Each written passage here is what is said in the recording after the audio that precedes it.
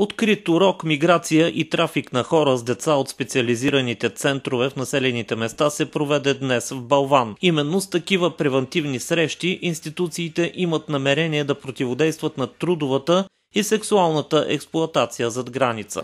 Фокуса беше поставен върху сексуалната експлоатация. Много български жени бяха заблуждавани и принуждавани да проституират в чужбина а сега фокусът се измести върху трудовата експлоатация и през последните години наблюдаваме една тенденция за уеднаквяване на процентите. Има еднакъв ръст на трудова и сексуална експлоатация. Жертвите са 50% мъже и 50% жени. В тази връзка специалистите предупреждават, че няма застраховани от измама.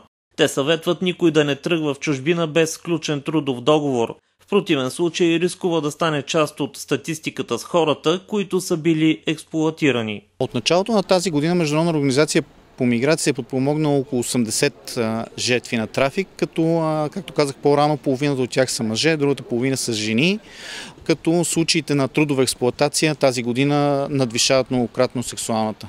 Специалистите са категорични, че с всяка изминала година трудовата експлуатация се превръща в все по-голям проблем. Най-често хората се оплакват, че нямат сключени договори и работят по над 10 часа на ден.